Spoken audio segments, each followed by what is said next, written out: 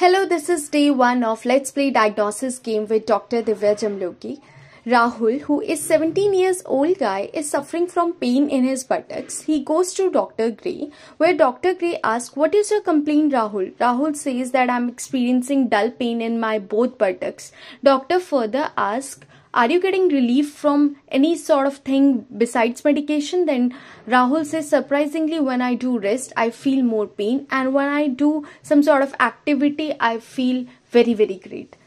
Then Dr. K performed some physical examination like modified Schober's test and chest expansion and found the distance of at least 4 cm and 4.5 cm respectively. Then Dr. Gray asked Rahul for some tests like rheumatoid factor, anti-CCP, ESR, CRP, HLA-B27 and found him HLA-B27 positive. He, she also asked her for radiographs and found square vertebra. What is your diagnosis? Comment below.